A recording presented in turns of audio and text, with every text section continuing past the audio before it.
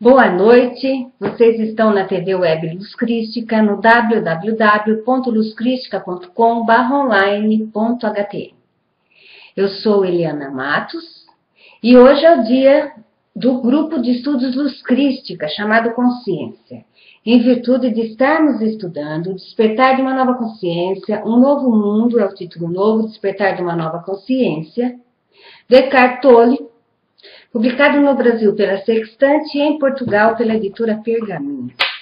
Recomendo que vocês comprem um exemplar, porque esse livro realmente é muito bom. Todos os encontros anteriores estão gravados e disponíveis dentro do site Luz Crística. As meninas estão no chat, as pessoas estão no chat, porque também tem um rapaz. E nós temos a oportunidade na gravação ao vivo que hoje é segunda, dia 27 de junho de 2011, de conversar enquanto ocorre a gravação, de trocar ideia, não é? Depois, durante, quando vocês assistem depois, aí não há possibilidade. Muito bem. Nós estamos na página 186 do livro do Brasil. A alegria do ser. Vamos lá. A infelicidade ou negativismo é uma doença no nosso planeta. Eckhart Tolle, tá? Estou lendo o livro dele. O que a poluição é no plano exterior, o negativismo é no plano interior. Ele está em toda parte, e não apenas nos lugares onde as pessoas não possuem bastante para viver. E até se acentua onde os indivíduos têm mais do que o suficiente. Isso é uma surpresa? Não. O mundo da riqueza está identificado com, uma, com a forma de um modo muito mais profundo, está mais perdido no conteúdo, mais preso no ego. As pessoas acreditam que depende dos eventos para serem felizes, isto é, que são dependentes da forma. Essa questão da fome, essa questão de tudo, foi, foram foi tudo abordado nos encontros anteriores, tá? Exaustivamente. Se vocês assistirem, vocês vão entender do que é que nós estamos falando. Não percebe que o que acontece é a coisa mais instável do universo. Isso muda constantemente a forma. Para elas, o momento presente encontra-se prejudicado tanto por um fato que aconteceu e que não deveria ter acontecido, quanto por algo que não ocorreu, mas que deveria ocorrer.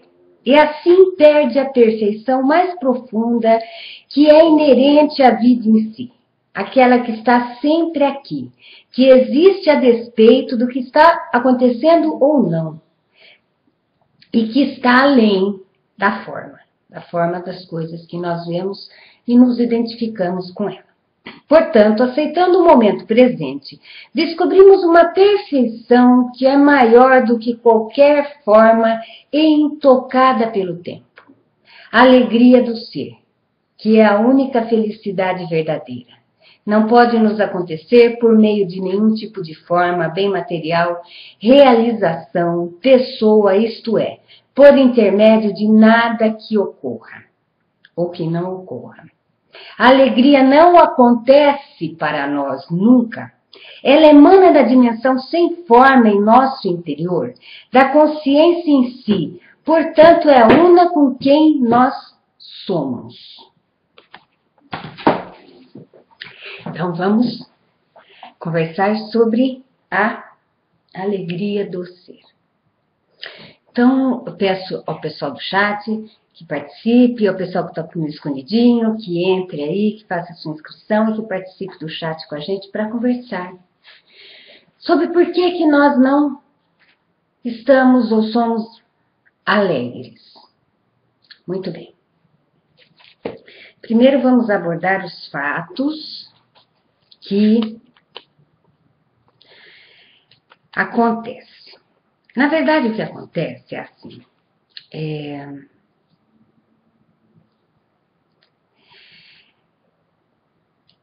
é uma situação interior de negativismo, uma situação interior de desassossego, de angústia. E a vida não é vivida. Eu gosto muito da frase que nós não temos medo da morte, nós temos medo da vida. Temos medo de viver, de viver nesse momento e de verificar que a vida não é do jeito que nós queríamos que fosse.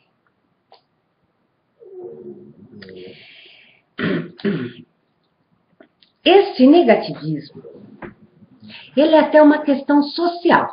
Sabe quando a gente entra no elevador e você está meio sem assunto? Em vez de falar alguma coisa, ou mesmo ficar bem quieto, porque o silêncio é uma prece. o silêncio vale ouro, não é? Mas a cabeça, como fica matracando, matracando, matracando, matracando, na verdade, a gente fala qualquer coisa. E, especialmente, e. A chamada tá branca.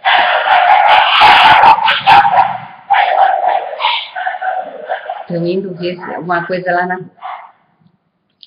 é, especialmente, é, nós damos socialmente, agora eu vou pegar mais socialmente, nós aprendemos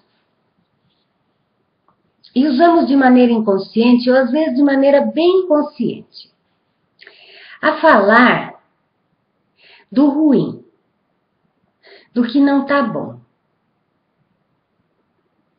na nossa vida, no Brasil, aí vem aquelas, aquele assunto, e os políticos, e não sei o que, e não sei o que lá. Ou seja, só abordagens negativas, mesmo dentro de um elevador. Oi, Dulce. E quando juntas comadres, então, falamos mal dos filhos, falamos mal, falamos mal. Se temos medo da inveja, é melhor não falar nada. Né? Se a gente fala, ah, é, vou falar que não tá bom para tirar o olho grande. Então não fale nada, fique em silêncio. Não é uma bela oportunidade de colocar o silêncio em ação. Olha, o negativismo é um estado de espírito em contraposição com a alegria. Porque quando a gente ah, não está bem por dentro, só um minutinho.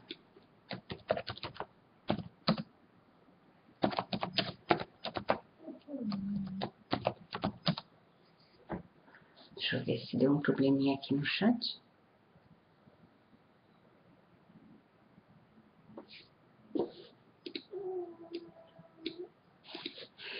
Quando ah, nós não estamos bem por dentro, estamos magoados, estamos ah, agoniados, estamos. Pode acontecer tudo que você vai achar um defeito. Vai achar alguma coisa para reclamar.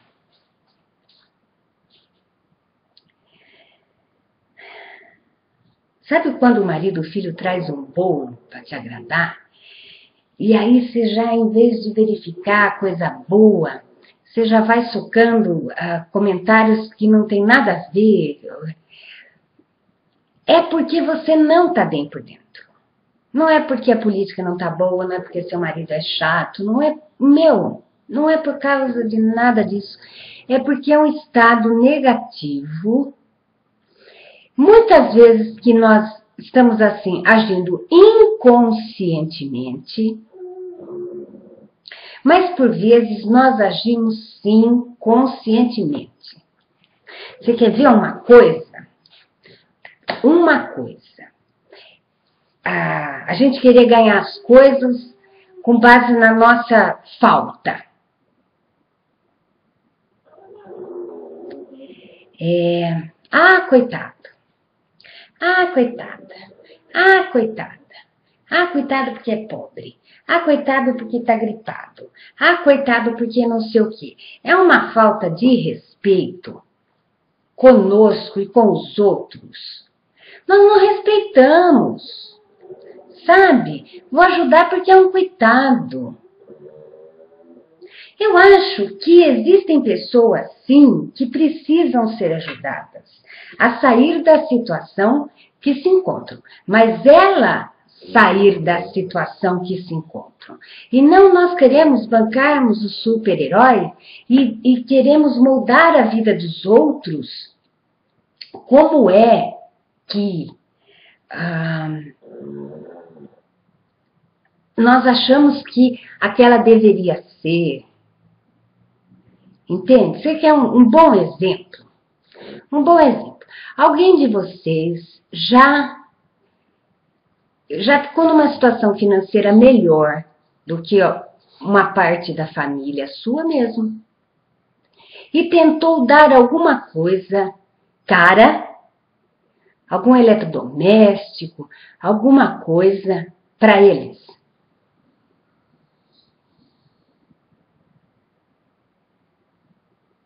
Já.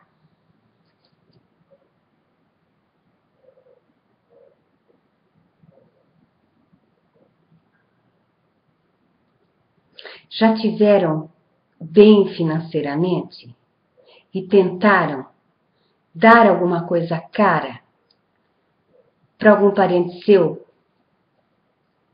que estava mal financeiramente?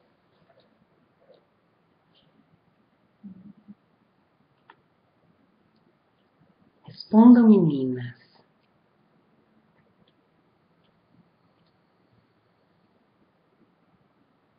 Aconteceu, Alice. E como foi a resposta? É que tem um tempo entre eu mandar e elas receberem. Tem um tempo aqui na TV. Como foi a resposta? Ah, curto, médio e longo prazo. A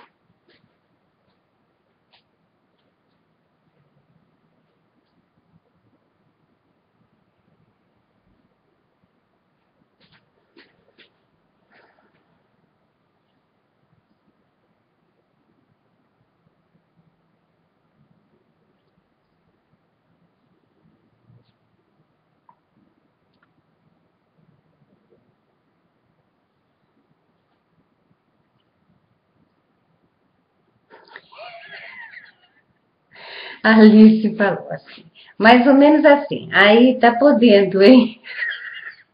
Não foi muito receptivo.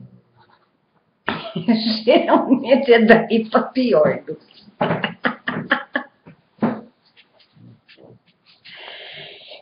É, é assim mesmo. A longo prazo ainda pode ter uma raiva de você. Sabe por quê? Porque você dá com dó. Você dá porque o cara é coitado. Não é assim que a gente faz? Ai, coitado. Não é porque é um presente que eu tenho. Já começa pela gente, né? Não é um presente porque eu tenho o prazer de dar isso, porque meu, eu ah, tirando a palavra coitado. Tirando a palavra coitado tá? Na primeira, quando a gente der, a gente dá, mas não é porque o cara é coitado, porque tá na merda, porque não sei o quê, entendeu? Existe essa primeira possibilidade. Segundo, o cara não vai gostar de ganhar uma coisa que sai muito do padrão dele.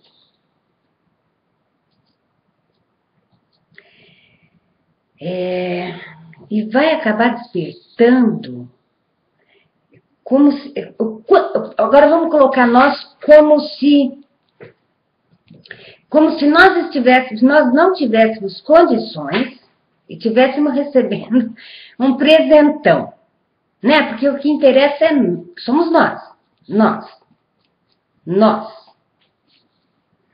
Então vamos dizer que a gente está naquela situação do caramba e vem lá com uma máquina de, sei lá, Uma coisa bem fora da. Um ventilador de teto, uma máquina de lavar louça, porque aqui no Brasil não é. Não é eu, eu sei que eu comprei a minha, estou felicíssima com ela, você já sabe. Mas não é uma coisa que a gente. que grande número de pessoas tem. Geralmente é uma coisa assim, fala. Hum, comprou para mostrar. Né? Quando, e tem gente que compra e não usa mesmo. então vamos lá, vamos saber se a gente, como é que é que a gente interage. É um presente maravilhoso, que 10, né? Que 10, que 10 anos, meu Deus do céu. Olha eu aqui nessa situação e vai acabar. Olha que eu ganhei.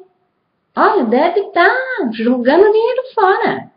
Porque, olha, imagina, comprar isso, comprar aquilo, comprar aquele outro.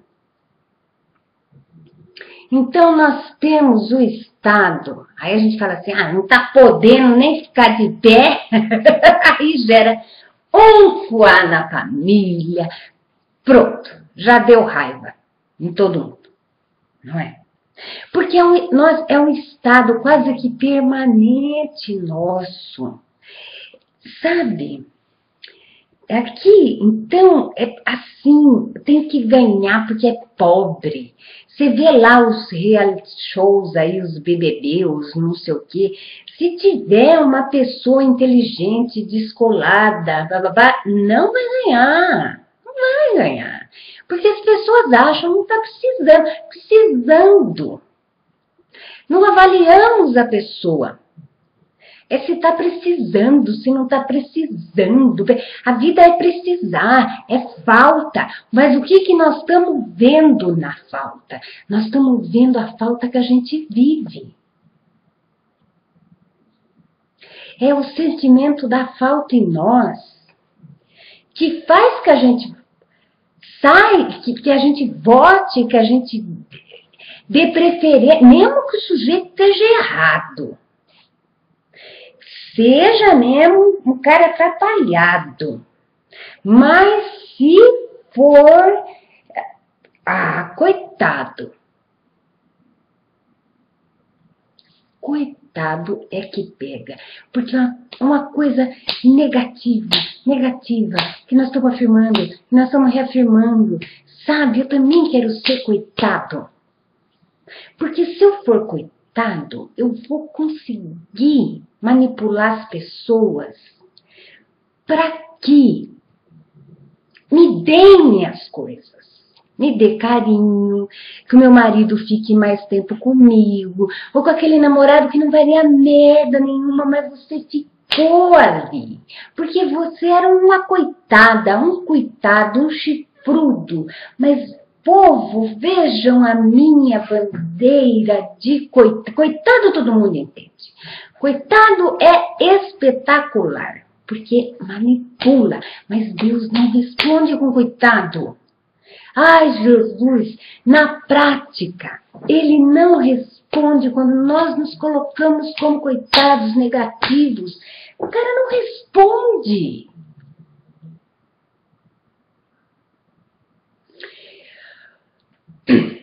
Quando você está passando uma situação difícil, você fala assim, já aconteceu comigo. Olha, está passando uma situação bem difícil com a sua família, vamos dizer assim. E tem noite que, meu, você não conseguia dormir, não consegue dormir preocupado com aquela coisa, porque você tem que resolver, porque o outro não é assim, né? Então você para e reza. Fala, olha, meu Deus, hoje está difícil de dormir. Senhor, por favor, me abençoe.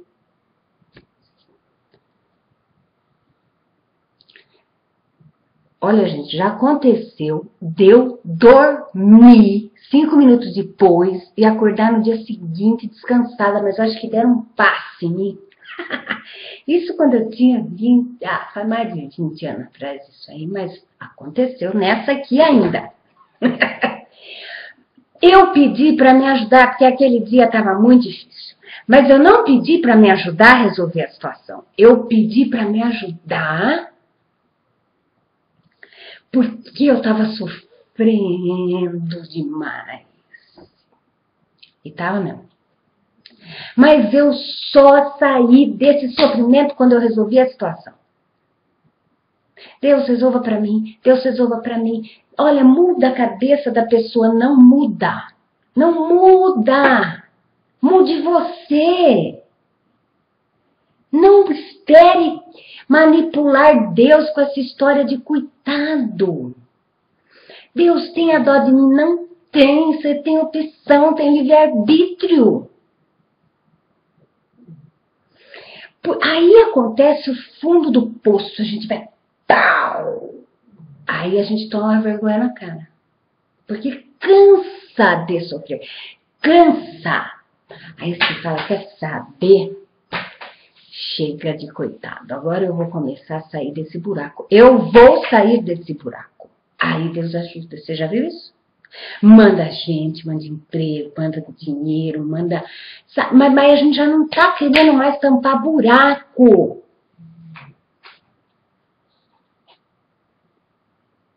Entenderam? É dentro de nós. Deus não responde a coitado. Porque Deus não vê a gente com dinheiro, sem dinheiro, com roupa, sem roupa. Não é assim, ele olha melhor para um filho do que o outro, porque tem um carro, não tem o um carro. Isso é identificar com a forma. Deixa eu ver o que a Mônica escreveu. Esse é o problema. Aqui, acho que quando damos é com prazer no meu caso, que a maioria é assim. Esse é o problema, uma energia de dar com prazer, que tem que haver a energia da felicidade de aceitar. Hoje sou eu que dou e amanhã pode ser o contrário, uma troca de energia. Porque o cara é coitado.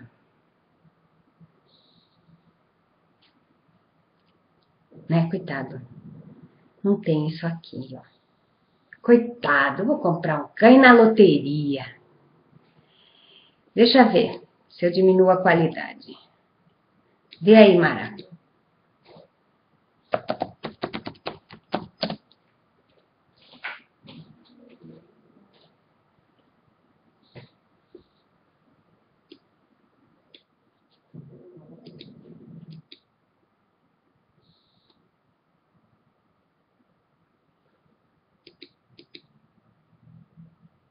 acho que já foi.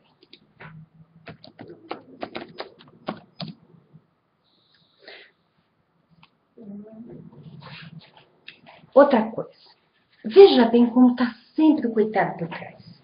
Nós somos crianças. Até quando a gente morre, ou as pessoas morrem, a gente fala, coitado, morreu. Coitado por quê? Independe, independe da causa da morte, independe da causa da morte. Coitado. Coitado quem ficou, né?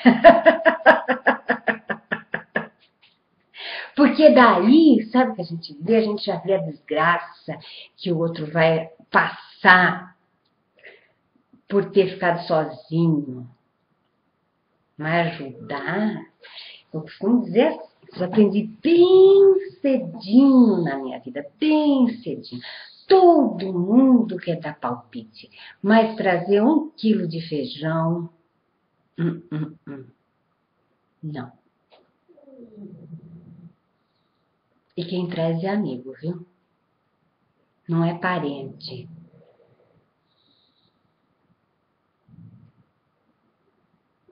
Alice está falando. Acho que pior do que ver o outro como coitado é se enxergar como coitado. Alice, eu vou, vou te, te falar uma coisa.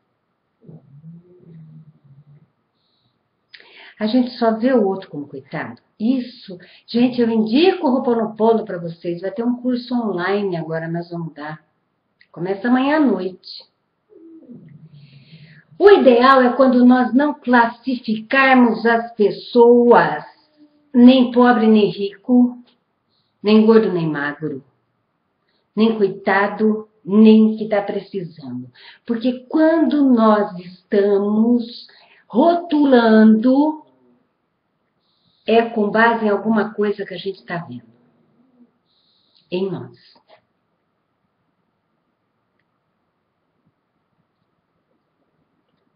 O outro está vivendo uma situação. Por que, que você acha que ele é coitado? Porque se você fosse você na situação dele, você se sentiria um coitado. Ou acha que os outros iam te ver como coitado? Eu não estou falando, veja bem, eu não estou falando se a pessoa é coitada ou não coitada, eu estou falando de nós. Nós. Nós. Por que, que nós temos a mania de querer saber mais do que Deus como a nossa vida deveria ser? Se a gente faz ela no dia a dia, porque nós comparamos a nossa vida com a vida de alguém, ou com alguma história, ou com alguma novela. Sabe? Porque a gente acha que o outro tá melhor. É tudo tá vendo. Mas e a vida que a gente tem? São situações que nós passamos. Às vezes pode ter uma identificação tão profunda com uma, com uma, com uma situação que nós passamos, exemplo na adolescência. Ah, adolescência é uma merda. Adolescência é terrível. Você pode ter passado um belo vexame na adolescência. Geralmente todo mundo passa, né? ou porque era gorda, porque era magra, porque era vesgo, porque usava óculos, aí por aí para pior, não é? Que, da comparação, porque na adolescência a gente funciona assim, na comparação com os outros, para a gente estar tá descobrindo o mundo, bababá, bababá, mas até que enfim chega a idade adulta que a gente pode se libertar disso. Mas enfim, aí você passa aquele vexamão, todo mundo tem, né? E o resto da vida, você fica tímido, retraído. Quando alguma coisa parecida com aquilo acontece. Por quê? Na verdade, veja bem, a timidez ou qualquer outra coisa que impossibilite você de ser o que você é, é orgulho. Você está protegendo o seu. Eu não vou dançar porque eu sou orgulhosa de passar vexame na frente dos outros. Todo mundo vai rir.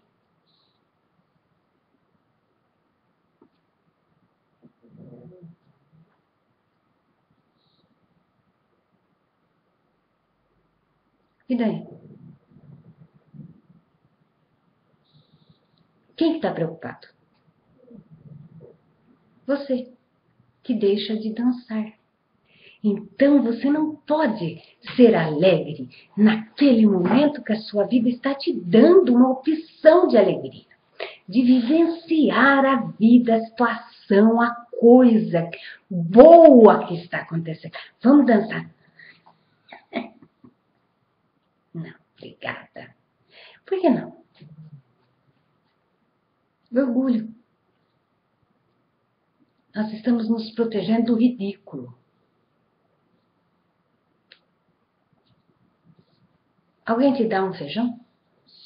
Vocês já ficaram na pendura assim, na pendura mesmo, dos outros virem e falar que você devia fazer isso, que você devia fazer aquilo. Assim, meio sem ter o que comer, meio sem ter onde sentar, sabe aquela situação que você muda no sofá, demora uns dois anos para comprar? Não é?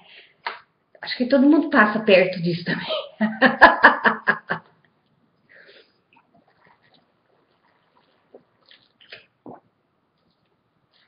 Alguém veio dar alguma coisa para vocês? Vier dar, Alice, vier dar um quilo de feijão para você?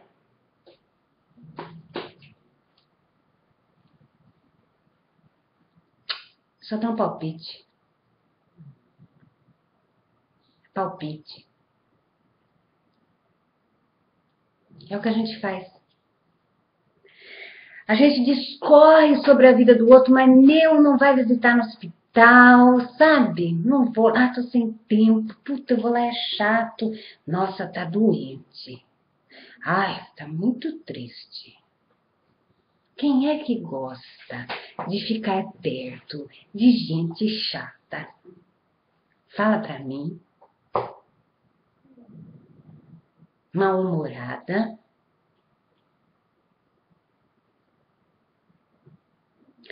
Gente, é assim que funciona a nossa vida. Veja bem. Veja bem. Nós esperamos. Nós esperamos um aniversário de 15 anos com toda a parafernália. E aí, minha mãe não tem quando a gente quer isso, né? Eu, como não gostava nem de boneca, imagina se eu gostava de festa com tudo aquela parafernália.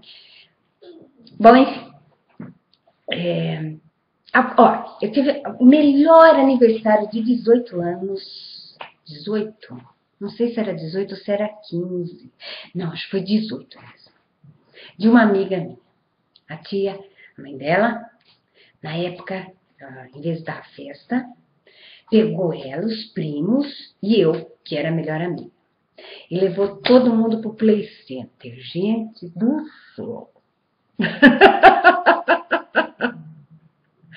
Inesquecível, inesquecível, porque a tia da, a tia foi nos brinquedos, o tio, é, o pai dela, os pais dela também foram, sabe, participaram do momento. Ninguém, eles não ficavam assim olhando, nós não estávamos constrangidos.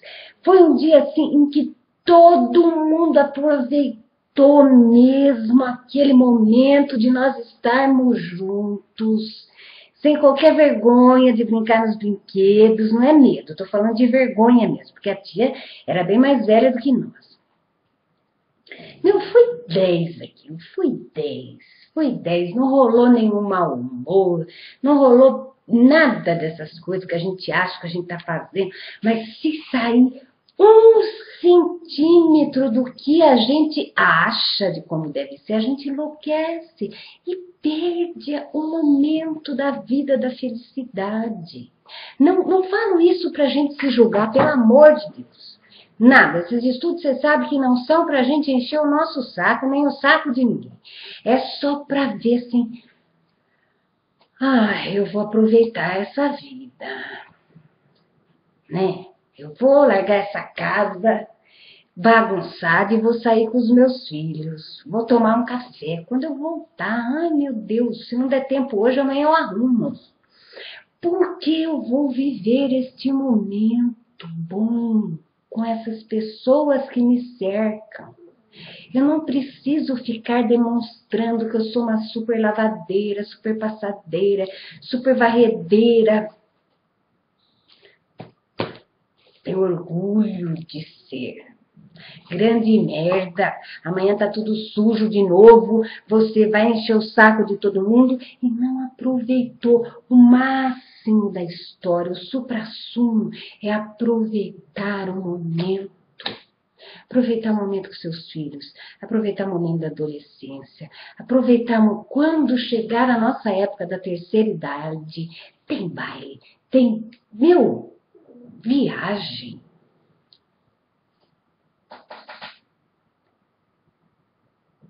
Porque nós nos entristecemos com base no que o outro vai falar, ou no que eu deveria fazer, e nós não curtimos a vida, não curtimos, não curtimos, e ela passa, é muito triste, isso é triste.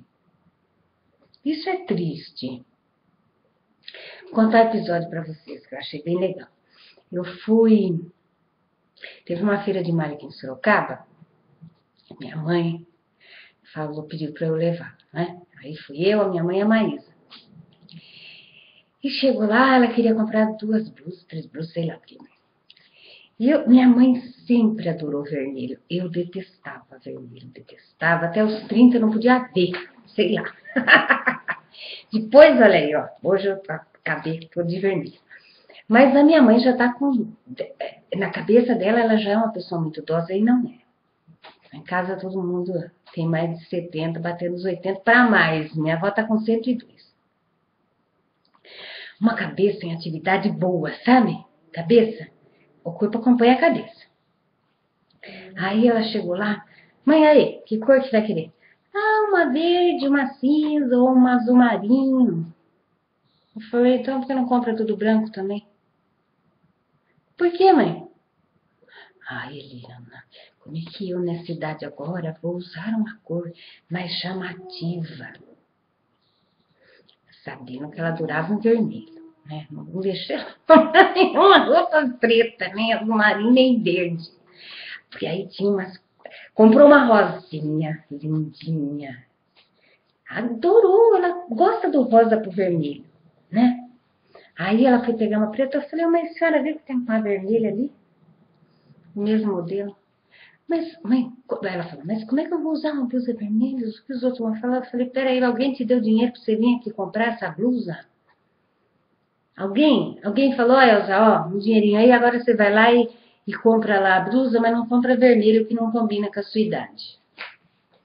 E também se quer falar o que eu vou fazer, a cor que eu tenho que comprar, muito obrigada pelo dinheiro, né? Experimenta a vermelha para ver. Experimentou. Foi lá para frente do espelho, adorou o vermelho. Ela sempre gostou do vermelho. Sempre, sempre. A vida toda eu lembro da mãe gostar do vermelho. Trouxe. porque ela estava indo contra ela. Tudo que a minha mãe tem, que eu compro, que ela compra, tem uma pitadinha de vermelho. Sabe? Que eu compro para ela. Porque eu sei que ela gosta. Então tem um vermelhinho aqui, um negocinho ali. Tem cores que a gente. Eu, eu por exemplo, detesto preto. Não, não adianta me dar blusa preta, calça preta, eu não uso. Eu dou para os outros, eu não uso, eu não gosto. Então todo mundo, e cinza, e marrom, Ui, que triste. Não, não, não gosto. E aí ela veio feliz e contente lá com a blusa vermelha, porque ela, ela não ia comprar porque os outros iam falar. Mas quem é que. Meu, alguém deu o saco de feijão? A gente também não precisa colocar a blusa vermelha e desafiar o mundo, a família. Meu, tô legal. Pronto. Tô legal. Quando a gente perde muita coisa, quando a gente tem uns perrengues assim na vida de perder, a gente vai largando mão. Porque a gente vê. Ah, ah, bobagem isso. Bobagem. Eu fiquei sem isso, não aconteceu nada de diferente. Ou eu já tive isso e também não aconteceu nada de diferente, continuei a mesma. Porque nós continuamos a mesma por dentro. A nossa alegria de viver. Se a gente tem um sapato se a gente tem um chinelo. E se não tiver, a gente empresta, porque é o momento, não é? Entendem? Como é que a nossa vida vai ser boa se a gente não vê ela como boa? A gente vê tudo muito negativo. Deveria ser, não foi. Não foi. Ai, não foi. Não tenho. E daí? Quanta coisa que você tem e a sua vida não mudou por causa de ter aquilo. Por dentro não mudou. Por dentro você continuou a mesma pessoa no dia seguinte.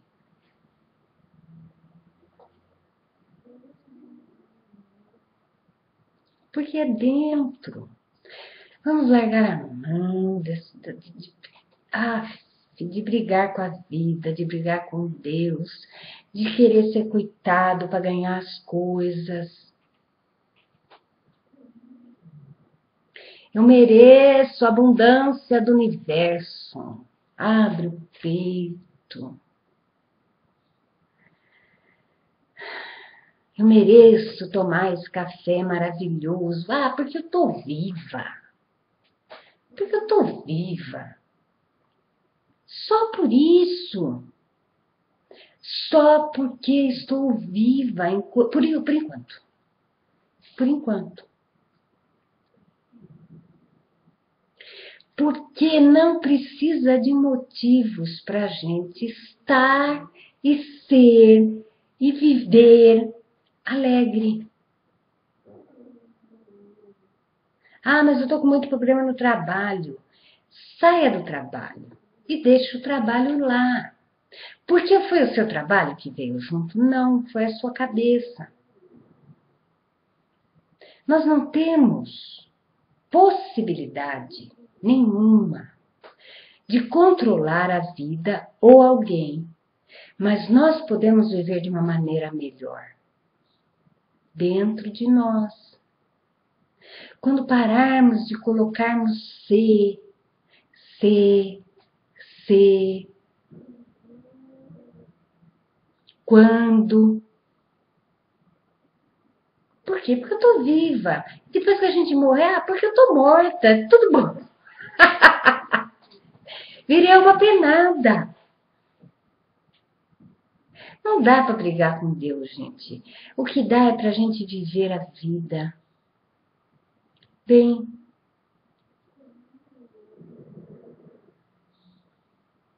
Bem. Se quebrou, eu vou comprar outra. Não dá para você ficar irritado, porque falta. Sempre falta.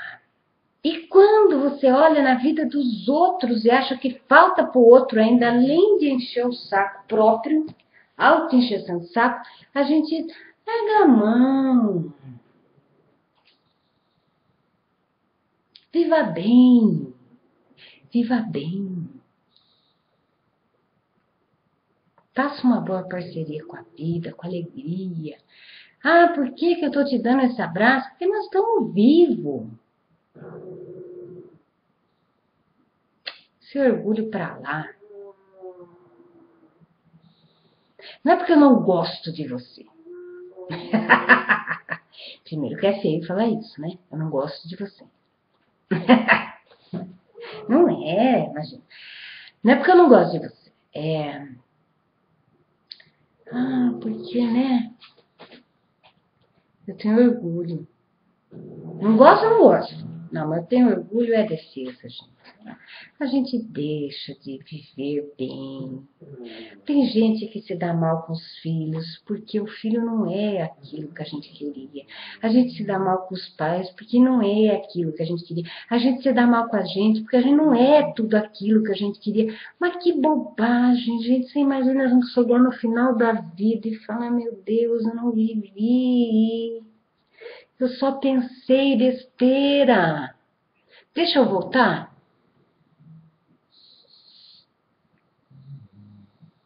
Só pensei, não fiz nada. Dá para encarnar de novo lá? Quem sabe dessa vez? dessa vez eu vivo, né?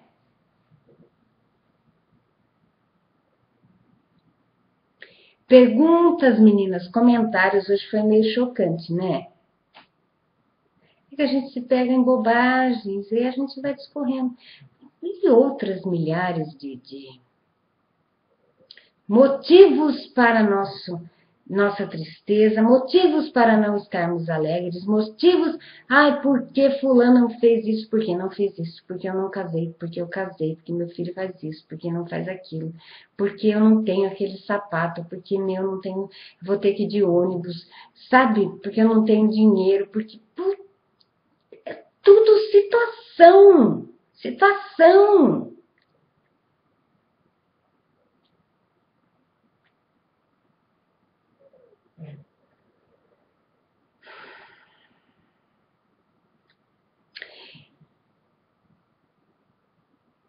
É, pois é, Alice, que a gente adia, adia, adia, adia, adia, porque a gente acha. A gente acha, não tem que achar, tem que viver. Viver é a coisa mais simples. Por isso que eu falo que a gente não tem medo da morte, a gente tem medo da vida. Ai, mas eu não sei. Não sabe mesmo. Viva como ela é. Viva como ela é. Não sabe, é igual criar filho, não vem com bula. Se criar bicho, criar planta, você aprende. Parece que não é muito por aqui, vamos mais pra lá. Entendeu? É assim, é no dia a dia. A gente não sabe. Mas a gente se trava para não errar. Oi. E a gente não fica feliz.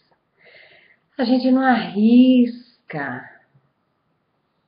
Não experimenta uma comida diferente. É tudo muito certinho. Muito certinho.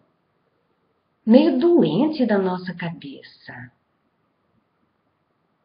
Mas a gente muda, viu? A gente, olha, por Deus, como é bom, como a gente muda, como a gente muda.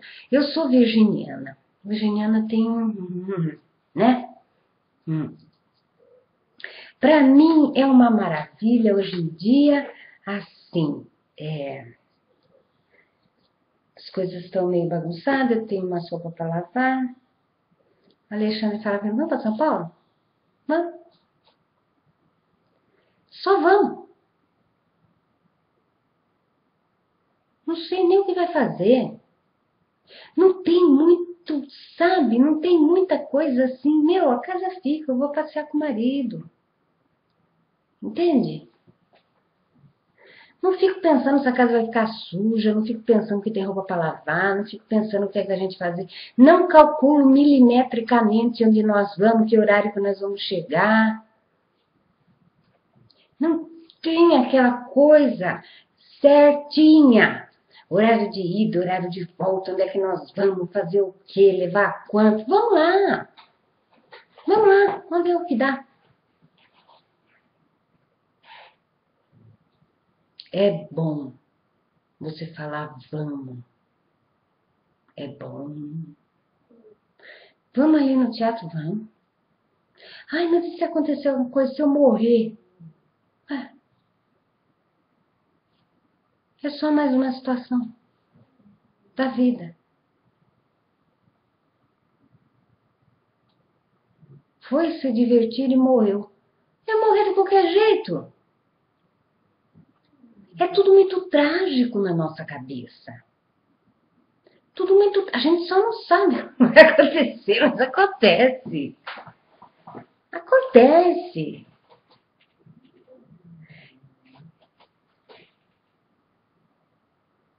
Não é? Olha, gente, abraçar um neto, levar o cachorro para passear, desde que você esteja presente fazendo aquilo, assim, a sua alma mesmo, não pensando na roupa que você deixou, na, sabe? não pensando no que amanhã é dia de trabalho, mas ali estou aqui com o netinho, ou estou aqui varrendo esse chão. As pessoas sabem que quem tem bicho e quem tem criança tem sujeira. Então por que, que vai reclamar na hora de limpar? Eles não sabem que ia dar trabalho? Limpa, é mais uma coisa que a gente faz no dia. Vou limpar aqui agora. Já sabe. Adianta reclamar?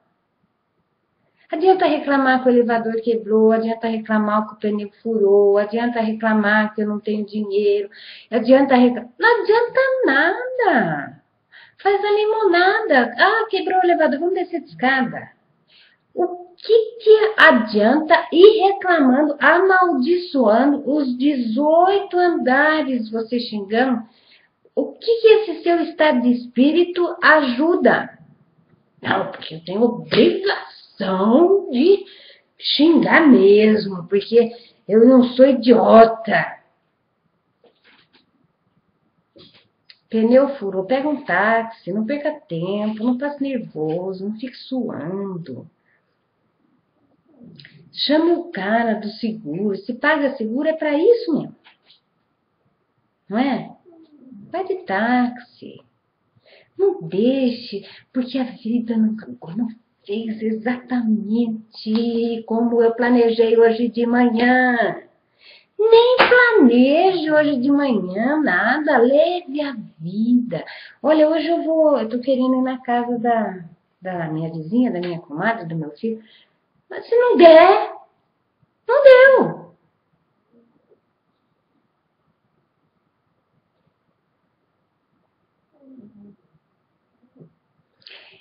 Não adianta perder tempo.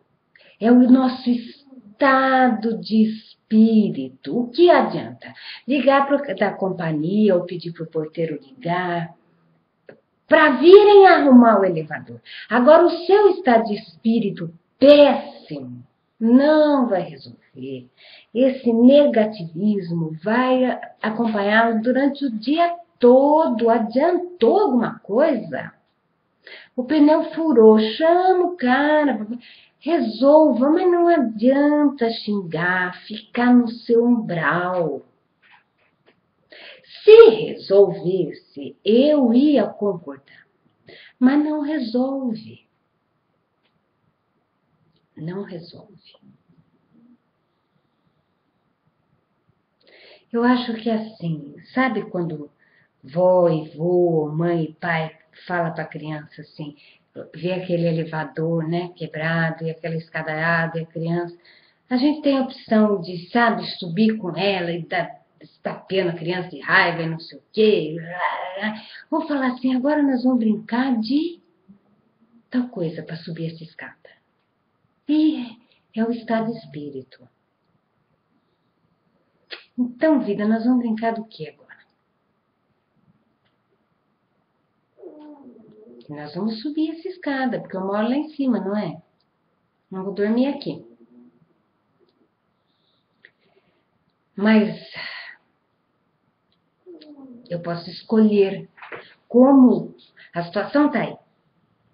Agora, como eu interajo? Se a minha vida vai ficar péssima hoje ou se, enfim, é só apenas, apenas e tão somente. Hum. Uma situação.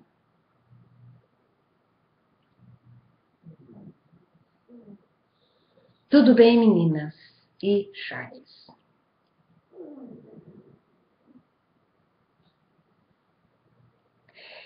Como foi dito, esse grupo não é para nós arrumarmos confusão conosco, nós acharmos que nós estamos errados, que não estamos fazendo nada certo, que por isso Nada, pelo amor de Deus. Não fique arrumando confusão para sua cabeça, nem para a cabeça de ninguém. Apenas viva a vida. Solte, interaja, aproveite. Não é? Fique triste, fique alegre, mas viva. Tá bom? Então a gente se encontra na semana que vem, na segunda-feira que vem, se Deus quiser. Um beijo a todos. Namastê.